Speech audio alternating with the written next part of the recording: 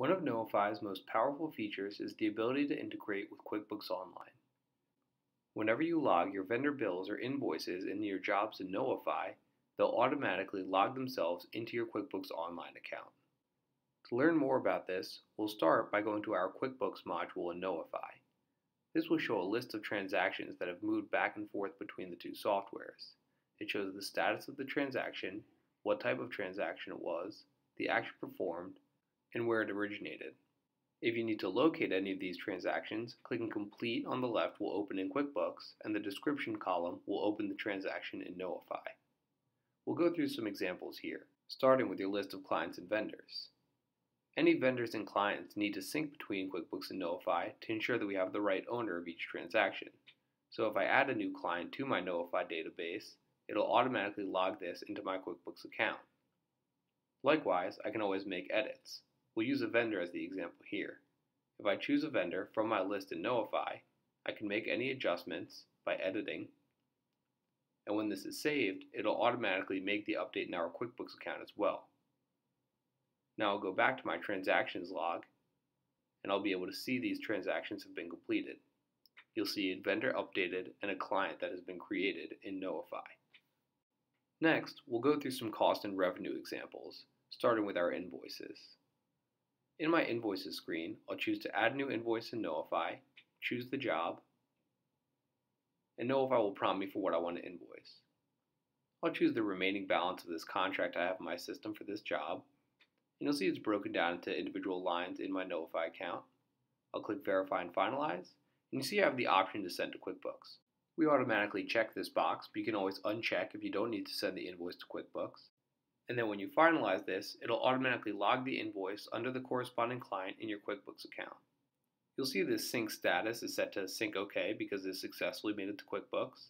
And I can click here and choose View in QuickBooks to automatically see the corresponding invoice transaction that was created you'll see that it carried over information like who the client was and the individual lines. In this situation, I used a catalog item in Knowify, so it automatically carried across as a product and service in QuickBooks.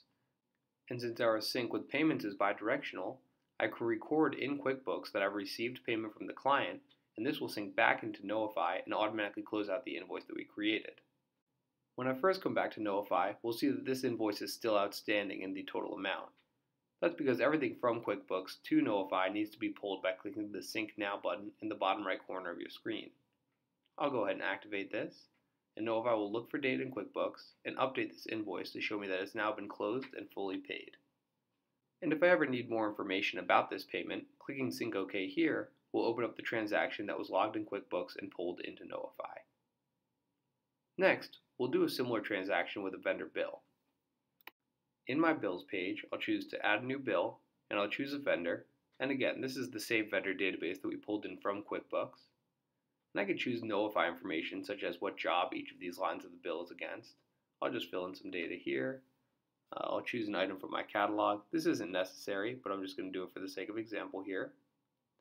And I'll add another line to this bill as well, so you can see what it looks like to have multiple lines on one bill.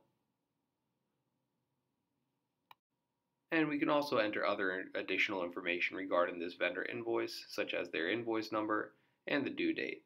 Uh, if necessary, I can also set payment terms. And when I finalize this bill, just like I did with the invoice, I have the option of whether or not to send it to QuickBooks. Uh, of course, we're going to send this one across. And this will pull me to the bill's details page where I can see the current sync status and pull open the transaction in my QuickBooks account. I can see that the bill carried across both of the lines uh, that I logged in Knowify. Uh, and I have my account set to sync to products and services. The default is to sync to account details, uh, but if you need products and services, put in request with our team. Uh, and I went ahead and recorded payment in QuickBooks. So now when I hit sync now again in Knowify, it'll automatically update this bill to show me the current status. And I can see that it's been closed and fully paid. We can also log just general cash expenses in Knowify to get those to sync with QuickBooks. Uh, I'll go to my purchases and choose expense. Uh, logging a purchase order expects a bill logged against it, so those do not sync with QuickBooks. Uh, I'll choose Home Depot again and just put in a quick little item. This one won't be a product or service from my QuickBooks database. Uh, and I'll choose a job again.